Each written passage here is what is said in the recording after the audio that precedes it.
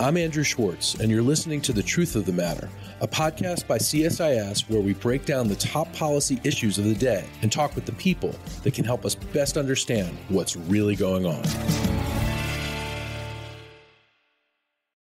It's summertime, and many of us on the East Coast and near Midwest are suffering from the hot, hot, hot heat that we're dealing with. And it's got everybody thinking about going to the beach. I personally am always thinking about going to the beach. It's my favorite place to be in the world. And I'll be headed to a fantastic beach just after July 4th.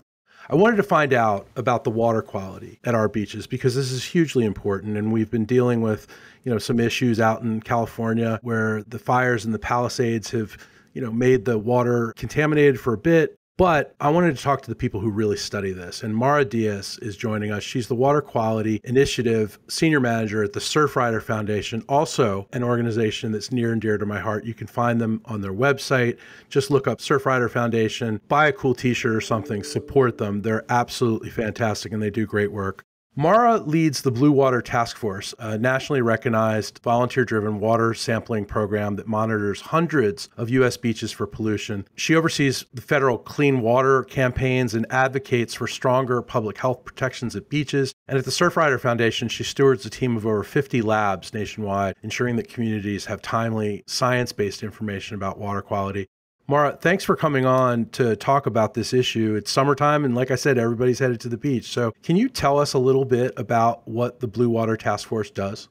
Yeah, sure. You know, the Blue Water Task Force has been around for just about 30 years now. And it started when our members, who were at the time often surfers, were, you know, at the beach and wondering, is this water actually safe for us to go into or not? And this was before a lot of states had their own beach water quality monitoring programs. And so we started to do some very basic testing back 30 years ago. Since then, a lot of states are monitoring their beaches, but there's plenty of gaps plenty of beaches that aren't monitored at all, or especially on the East Coast, there's not a lot of testing during the fall, winter, and spring months. So, what Surfrider has done is really set up this program to allow our volunteer run chapters to go out, test water quality at the beach and other coastal waterways where people get in and they recreate, but there isn't enough water quality information available to let people know where is it safe to swim and, you know, where should they stay out. So, at this point, we have geez, over 60 labs now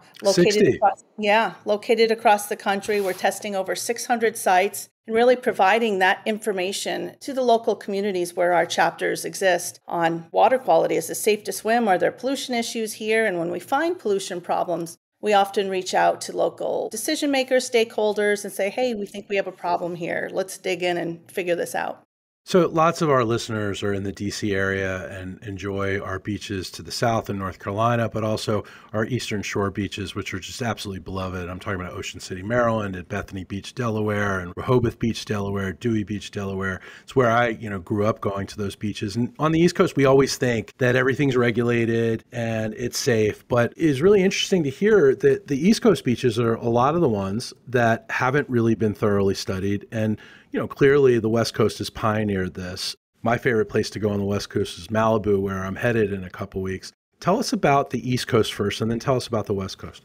You know, I think we definitely on the East Coast find plenty of beaches where we're testing, where we run into some problems, where we see some high bacteria counts. And I think a lot of the reason for that is we enjoy such a diversity of coastal waters here along the East Coast, right? You know, there's a lot of ocean beaches with the Atlantic Ocean, but then there's a lot of bay beaches, estuaries, you know. So I live on the eastern end of Long Island. We have our Atlantic Ocean beaches, and then there's the Peconic Bay, which is in between the north and the south fork of Long Island. And then between Long Island and Connecticut, there's a Long Island Sound. And what we find sort of across the board is that ocean beaches typically tend to test clean because it's just such this massive amount of water. So even if there is pollution coming off of the land into the water, it sort of dissipates relatively quickly unless there's some big event. Yeah, the pollution can hang around more on more of these bays and coastal ponds and other type of estuaries that we're blessed with here on the East Coast. We worry about the Chesapeake Bay here, you know, all the time. It's a treasure. Exactly. So if you, you know, you slide over to say California on the West Coast, there aren't the same big massive estuarine systems where people are getting in and recreating. You know, it's largely there are some for sure. There's some harbors and stuff, but mostly, you know, where our chapters are, we're testing ocean beaches, which again tend to be clean unless it's rained really hard or there's some sort of sewage failure somewhere. Yeah, and usually we see when there's some kind of sewage failure on the West Coast, there's newspaper coverage, there's media coverage. But tell me, what are the most common misconceptions people have about water quality and beach safety, and how do you address them? Well, I think the biggest thing is when people head to the beach, generally, they're not thinking about water quality at all right? Like they're thinking about what's the weather going to be? Is it going to rain? What's the UV index? You know, like what's the wind going to be? Maybe if you're a surfer, you're looking at a tide chart or paying attention to the wind, but most people don't think about water quality. And actually, it's as important, if not more important, than the rest of those physical conditions that we look at when we plan a day at the beach, because it can really influence how much fun you have at the beach and, you know, how much you pay for it later, right? Nobody wants to spend a great day at the beach surfing in the water and then go home and they're feeling ill for the next three days because they were exposed to pollution and they had no idea. So, Mara, I think I know the answer to this, but I have to ask why is coastal water quality a national security and public health issue and not just a local environmental concern? Let me start with public health first because that's everywhere, right? So, what we measure in the water and what departments of health and in every coastal state look at is fecal indicator bacteria. If these fecal indicator bacteria levels are high, then that tells you, oh, there's probably human or animal waste in the water.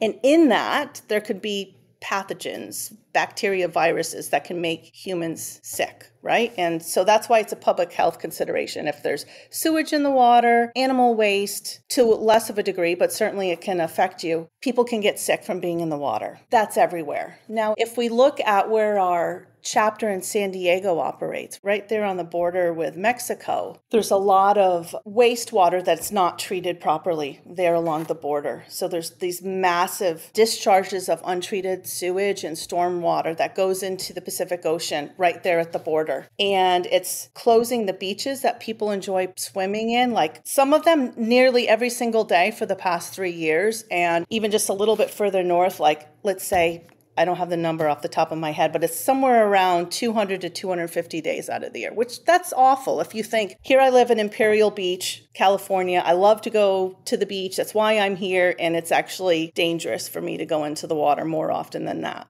Now, bringing it into a national security realm, you have Navy SEALs that train there. And a report just came out, I think late last year, showing the impact of that polluted water on Navy SEALs who train there. Our border patrol has to work in those waters and the estuary that's along the border that's contaminated and can cause them to get sick. So, in that area, that public health issue that could be affecting people anywhere turns into a national security issue.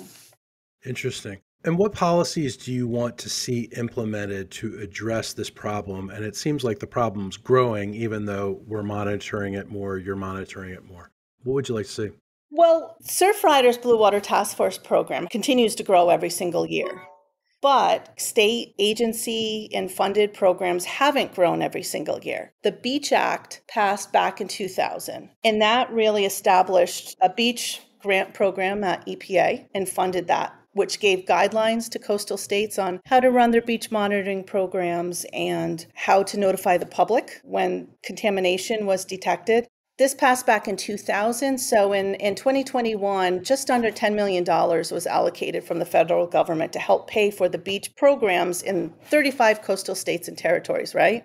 Over the last 25 years, that program has received just under $10 million every single year. And guess what? $10 million pays for a lot less now than it did 25 years ago, as you can imagine. So, what happens is coastal states every year have to think about how can I best spend my diminishing federal grant so that I can have the biggest bang for the buck on where to protect public health. So, if anything, the agency programs are forced to scale back as their funding remains level, and citizen science groups like you know Blue Water Task Force expands. But we don't we don't have a ten million dollar budget just for our program. You know, we, we're filling in the gaps where we can, but more investments definitely needed to monitor our beaches to make sure that people have a safe, healthy experience. And it's not just for public health, it's for our economy as well, because, you know, tourism at the beach is a massive, massive economy in every coastal state. And it's really people's trust in safe, healthy beaches that makes that happen. And we, we need to protect it. So. I want to read some pretty astonishing statistics. The CDC estimates that over 5 million people are sickened annually from swimming in contaminated water. 80% of beaches tested exceeded state health standards at least once in 2024, 25% of all samples measured high bacteria rates. That's up from 22% in 2023. And nearly 10 trillion gallons of untreated stormwater runoff flow into U.S. waterways every year. That includes road dust, oil, animal waste, fertilizers, and other chemicals. And about 900 billion gallons of raw and untreated sewage are discharged into local waterways and oceans each year. Those are astonishing numbers and really sickening numbers because both sewage and stormwater runoff contribute to human illnesses, of course, harmful algae blooms, coral reef die offs, and severe harm to wildlife. It's the number one cause of beach closures and swimming advisories. What do you see are some of the biggest gaps in U.S. federal beach water quality policies today? For beach water quality, after proper monitoring and, and supporting those programs, which are protecting people's use and enjoyment of our beaches, I think the next thing, which we haven't adequately done as a society, as a country, is really maintain our wastewater infrastructure properly.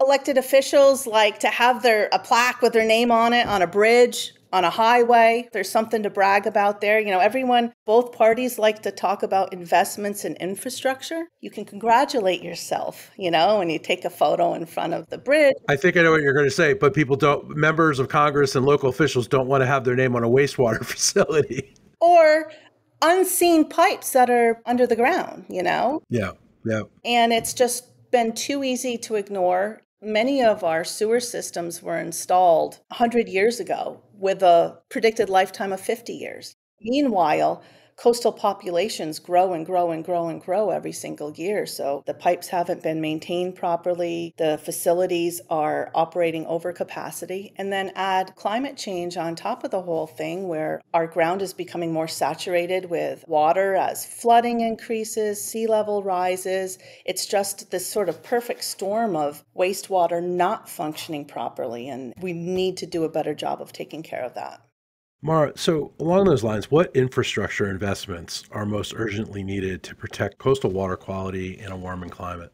Yeah, it's twofold. It's addressing our sewer systems and the pipes and the treatment. There's a lot of areas that are still on septic systems and even cesspools, which really do very little treatment at all. And again, as sea levels rise, as we get these big, massive storms moving through, and the ground gets saturated with water, they don't really treat waste at all. And then investments made to hold on to our rain and not let it become stormwater runoff in the first place. You know, there's all sorts of different nature based solutions, green infrastructure that can be implemented on the community scale so that we are allowing water to seep into the ground and become part of the watershed and not just be shot down the road into a channel and out into the ocean or the bay with a ton of pollution with it.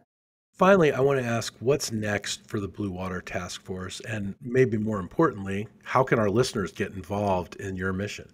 Yeah, well, the Blue Water Task Force is always continuing to expand. Across the country, we have about 85 Surfrider chapters right now, and I think somewhere in the realm of 150 or so student clubs. And I'm always getting inquiries from new chapters that want to start a testing program. So there's a lot of interest there. And the chapters that have been testing are really, we're really starting to reach new audiences now. I think there's just more awareness as we've been issuing our clean water report for so many years now. People are just becoming more aware of it in the communities where we are testing. And then some of our more veteran programs are really starting to dig in now and not just testing and sharing information, but establishing collaborations within their community to really pull together the stakeholders to say, okay, we've been measuring high bacteria levels at this beach, at this creek for how many years? What are we going to do about it? So we're seeing a lot of good progress there, which is very exciting. As far as your listeners, I would say number one, we would love to have you join Surfrider. Like go to surfrider.org and you know support us join us become a member be part of our mission to protect and enjoy ocean waves and beaches and then look up our Blue Water Task Force program and see if we're testing near you and know before you go. Take a look and see what the water quality conditions are near you. Mara, I really appreciate this. I know we'll stay in touch. For our listeners, you can visit the Surfrider Foundation website, very easy to find, and you can learn more about what Mara and her team are doing and the good work that they're really doing on behalf of us all. So I want to really thank you for coming on today, and I hope our listeners and you have a great summer. Yeah, great. You too. Thank you. Have fun in Malibu. Thank you. If you enjoyed this podcast, check out our larger suite of CSIS podcasts. From Into Africa, The Asia Chessboard, China Power, AIDS 2020, The Trade Guys, Smart Women Smart Power, and more. You can listen to them all on major streaming platforms like iTunes and Spotify. Visit csis.org slash podcasts to see our full catalog